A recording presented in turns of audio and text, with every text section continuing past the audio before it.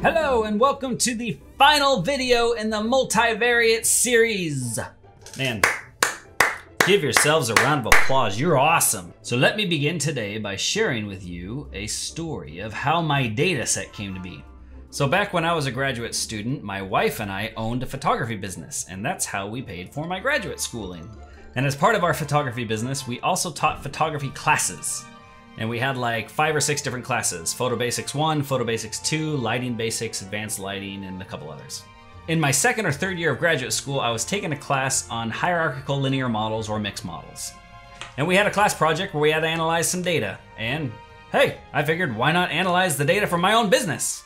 And at that time, we had recently switched from teaching in our home to teaching in a studio and we were renting out a place called the Red Room. And the Red Room is basically like this massive brick room that has really bad lighting, but it's great for like holding concerts and parties and that sort of a thing. And the cool thing about the Red Room was we could double our class sizes. So before we were limited to like 11 or 12 people, but now in the Red Room we could fit hundreds of people if we wanted. Of course, we were concerned about having too large of a class size because we wanted to have a good experience for the students, but um, these data allowed us to ask an important question. And that question was this. When we switched from teaching at home to teaching in the Red Room, did that somehow affect the user experience so much that people were less likely to take the advanced classes? Unfortunately, we had data.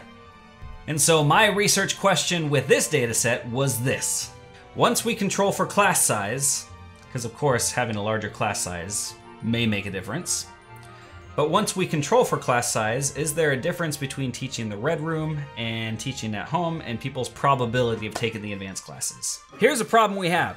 So obviously, we want to predict whether a student progresses on to the next class or not. We got a binary outcome, that's going to be a logistic regression. But we have a problem. And that problem is that we have clustered data. The probability of students advancing to the next class is going to be highly correlated with their particular class. So normally we'd use a mixed model, right?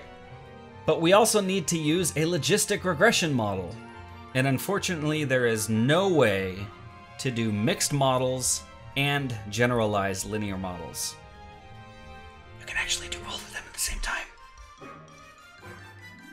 Fortunately, there is a way to do mixed models and generalized linear models. So without further ado, let's get to some data. So welcome to my R screen. We're gonna load LME4 as well as FlexPlot. And then within the FlexPlot package, there is now a data set called Photo Lessons, Photo underscore Lessons. And by the way, uh, this requires FlexPlot version 0.9 or greater. And that uh, fixes some issues that I had with generalized mixed models that I honestly spent the last couple hours of today fixing. And it also includes that data set. So you can follow right along with me. Woohoo! All right, so I'm going to start as I always try to do by looking at the univariate distribution. So there is the uh, students who progressed, and we have looks like 90 or so that did not progress, and about 75 that did. And progress, by the way, means whether they took the advanced classes. Uh, class size, if we look at that, we see it's kind of bimodal, which actually makes sense because again, we taught in two different locations. We either taught at home, which we could only have like 11 or 12 people max, and we taught at the Red Room, which we tried to cap it at about 20 people. So we should see this bimodal distribution. And then if we look at the number of students in the Red Room, so even though we didn't teach at the Red Room for very long, the fact that we could fit so many people in at once means that more people show up as having been taught in the Red Room.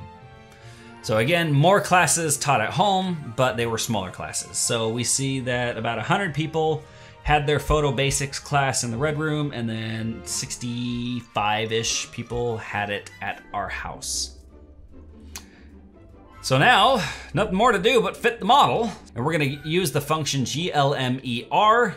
And if you look at the syntax, it is almost identical to what you would use with LMER. So just as before, in parentheses, we specify how the random effects occur. So we are saying that we have a random intercept and then class ID is the clustering variable. And we are saying red room and class size are the fixed effects. And the reason why they're fixed effects was because they did not change within a classroom. So if you were in the red room, you were always in the red room for that class.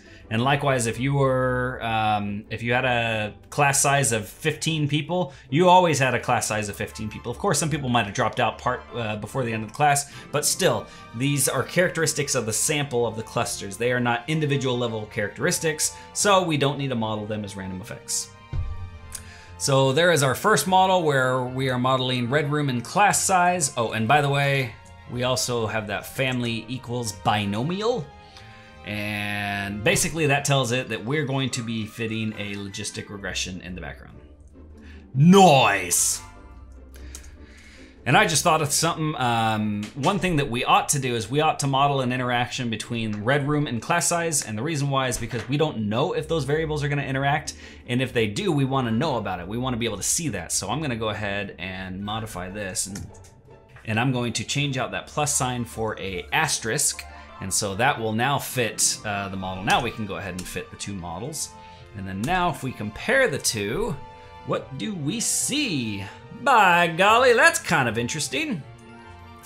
So what is this saying? All right, this is saying that, uh, well, A, it's saying that we do have some evidence at least of an interaction effect. So the full model says that um, if I am at home, larger class sizes mean that we are, uh, that people have a lower probability of advancing.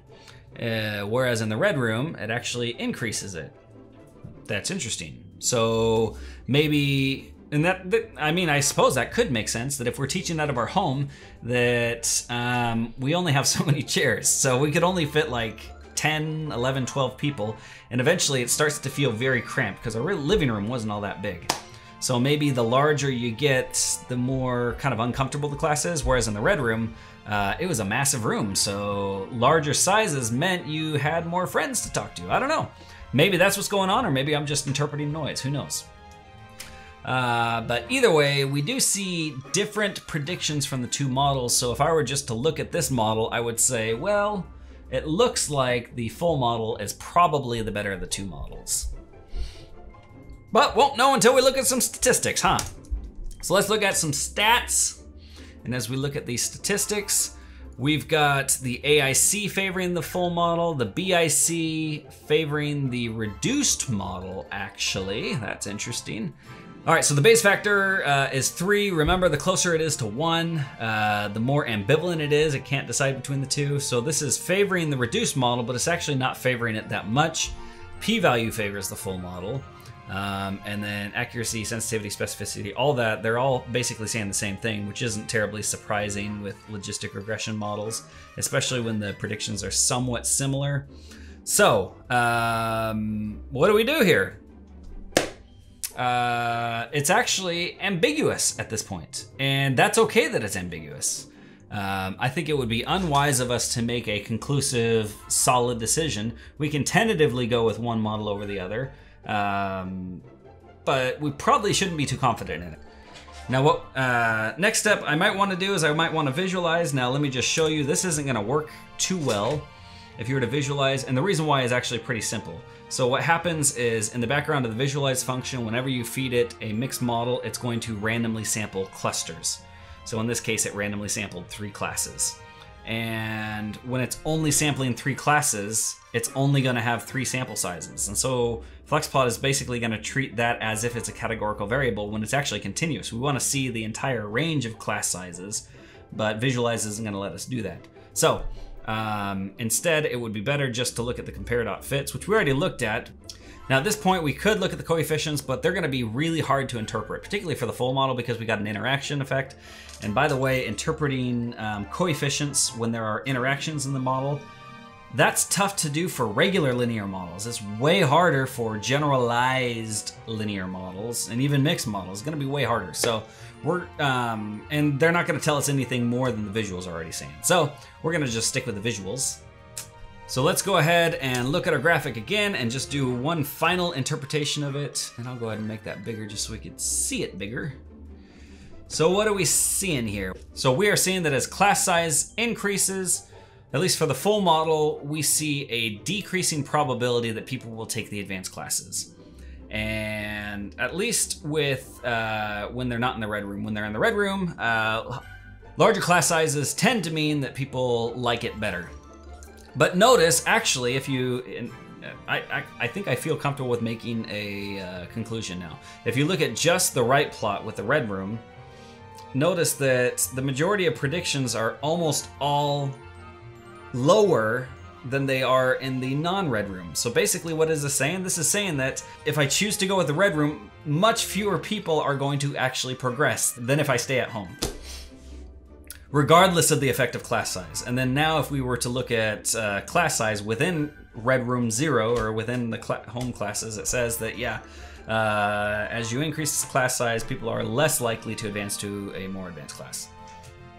So, what kind of conclusions, what kind of decisions would I make as a business owner? And I'll tell you what I did. So, I actually did this analysis, and it was cool that I had to do it for a class project, but it actually provided insight that I use for my business.